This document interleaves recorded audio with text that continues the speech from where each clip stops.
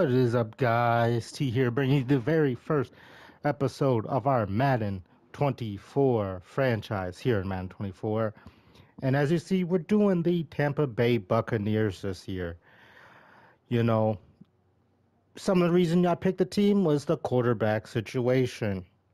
You know, we got Baker Mayfield on a one year deal, prove it deal here on Bucks. Hopefully to, you know, keep some sustainable of consistency on this team. You know, the GOAT, Tom Brady, retired for the second time on this team. And, you know, there's there's a void to fill. But I'm not one to say that, hey, this team has fallen off drastically from their previous Super Bowl success. You know. So Baker on this one year deal doesn't guarantee that he's going to be the future of this team. I am a coach that whoever our starting quarterback is to start the year, I'm going to give him every opportunity to be successful to the best of my ability. But I do have, you know, plans and circumstances set up. So if Baker does good, he gets a second contract and kind of be that bridge guy. And we draft a guy, you know, late in the draft, or, you know, we, we, we draft a guy, period, and have him develop behind Baker. If Baker isn't the guy and this team isn't successful, perfect. We own our draft pick. We draft, you know, the QB of the future, and we rock out from there.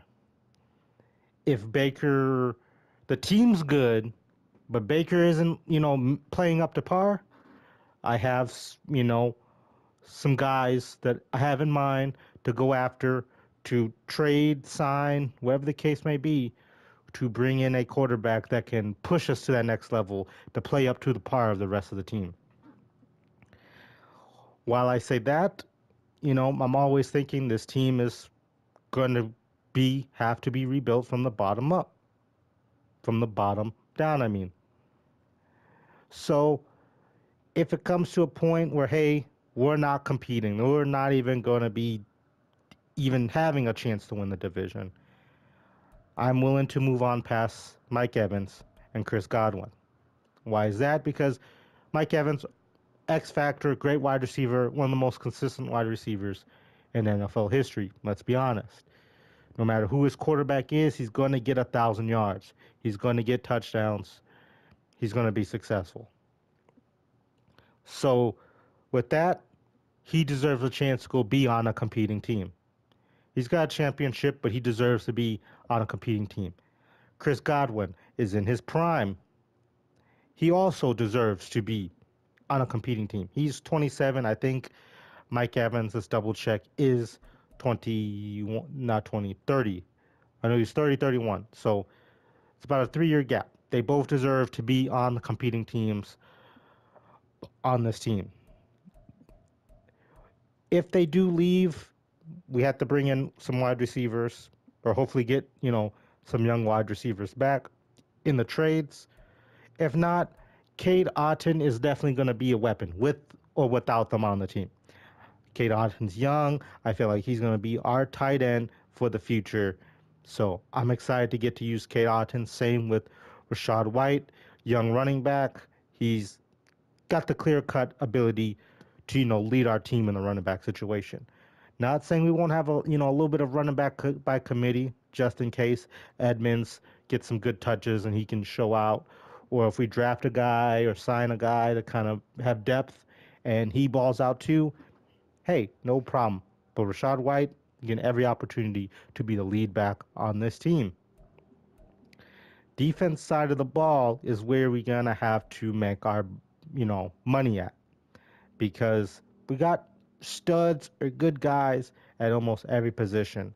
Either they're good and sustainable or they're great, like Vita Vea, Derek White, uh, Lavonte David, Shaq Barrett, you know, Winfield Jr. Like, we got guys all over the field. But once again, moving pieces on this team. If the team isn't successful, we got to start freeing up some cap. This has a lot of, you know, cap restraint to it. Lavonte David easy move on. Great player. He's 33. He's getting towards the end of his career. Derek White is clear cut can step up and be a running uh, linebacker one. You know, we bring in a bridge guy, we bring in a young guy, and he'd be linebacker two, no problem. I can see that for our future. Shaq Barrett, another big cap hit, great player, but he's in his 30s. You know, we trade him, we could bring in a young guy, a bridge guy for the pass rush, and I could see that, you know, benefiting our future. Having money to spread over the team multiple years. Got a young, lot of young guys.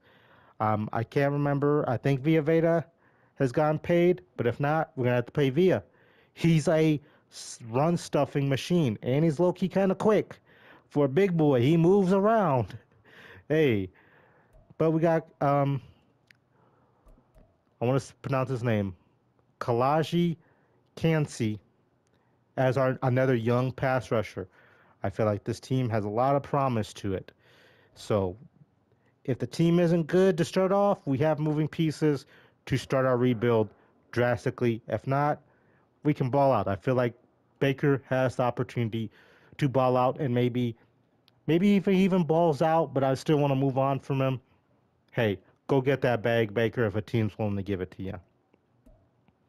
Special teams, you know, we got good punter, good kicker, guys that can get us to where we need to get to when it comes to scoring and being consistent.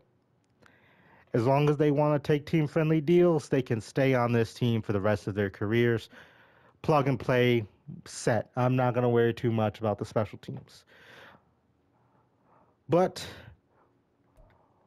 uh, something that I do notice on this team as I was, you know, diving into the rosters is besides Dean and Davis, we have no good cornerbacks, you know, behind them.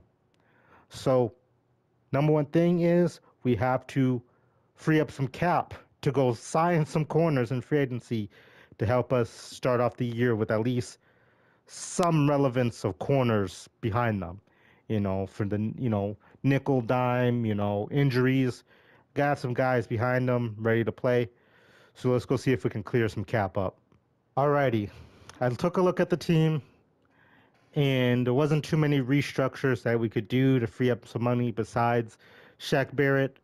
So we're already starting off the franchise by trading Shaq Barrett to the division rival Falcons.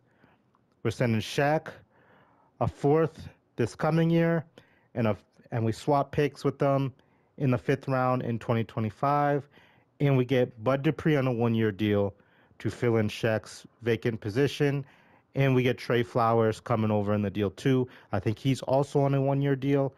So getting two rentals and we swap picks in the fifth round to free up all the cap we need to also, you know, one, just have cap, and two, we also fill in our cornerback position.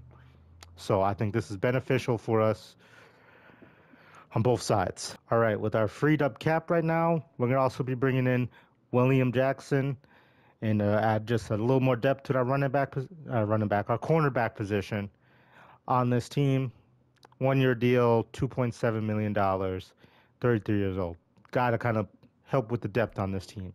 Also, to add depth, we're throwing a dart at the board. We're signing Kenny Golladay. He did not have a good tenure with the Giants, but having him come in, be another depth piece on this team.